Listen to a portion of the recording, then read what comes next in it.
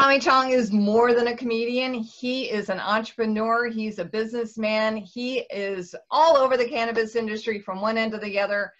And his latest endeavor is called Eighth Icon. It's which his comedian partner. And now you you guys are moving into dispensaries. Let's talk about that because you already had the Tommy Chong Cannabis Company. So what? Oh yeah, yeah, it, it's still going. Right, sure. right. So what made you decide to do the dispensary business as well?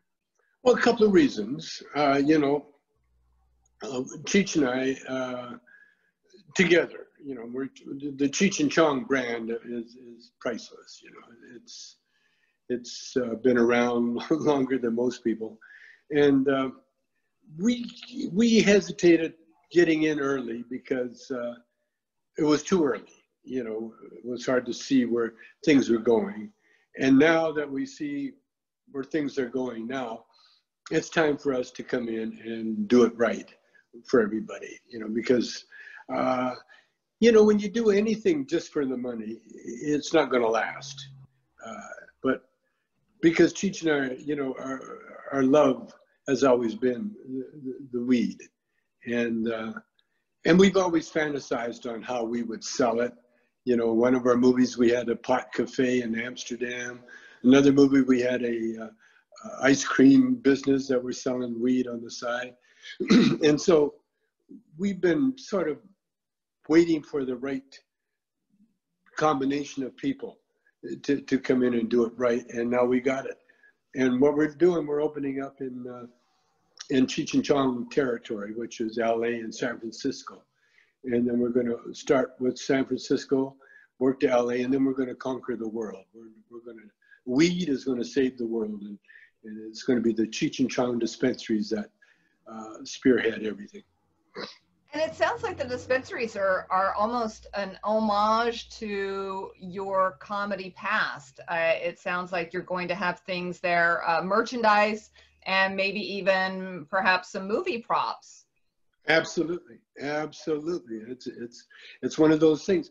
Uh, what we did with Up in Smoke was, with all the with everything, is sort of like timeless and priceless, uh, especially uh, Up in Smoke because you know visually we we we sort of like educated the world on on the the, the, the beauty and the humor of, of not only marijuana but the marijuana culture yeah we're going to be selling merch and we're going to be selling the, the, the product itself mm-hmm. but more than anything we're, we're going to keep reminding people of how spiritually inclined this plant is and how it should be treated with that reverence that you do give uh, anything sacred.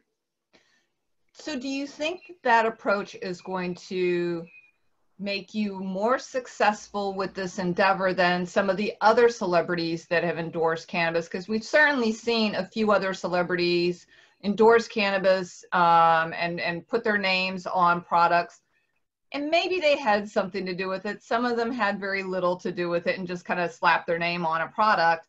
And yeah. so there's been a little bit of a backlash within the industry towards these, you know, endorsements or these licensing deals, really.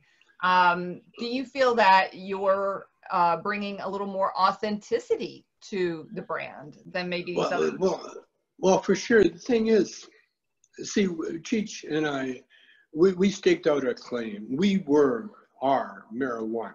There's no doubt about it. You know, when you say Cheech and Chong, it's synonymous with, with the plant itself. The other celebrities, although, you know, they smoked it, they, you know, they didn't make their living like we did. You know, they, they had songs, they had, they're, they're singers, they were uh, musicians, you know, they're, they were singing. Yeah, yeah, sure, Bob Marley, you know, in the ganja, but they're still, their, their main thing is singing and playing music. Well, Cheech and Chong, we we play music, but what do we sing about? Marijuana. Right, right.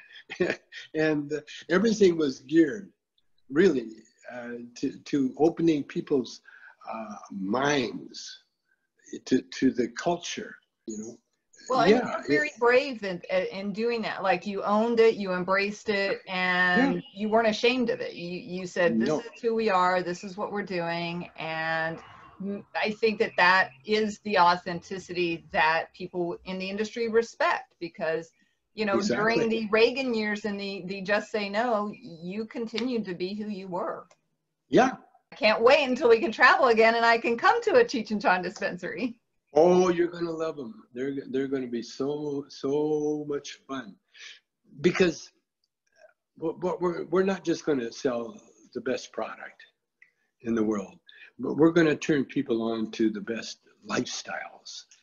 But it's been a, a, a wonderful experience for me, a wonderful journey, and and it's not over. It's it's still going. Absolutely. I can tell you've got a long ways to go. Thank you so much, Tommy. Again, I really appreciate you taking the time to, to speak with me and to give the time to Green Market Report. Well, you've got my number, so anytime you need me, I'm here. Thank you.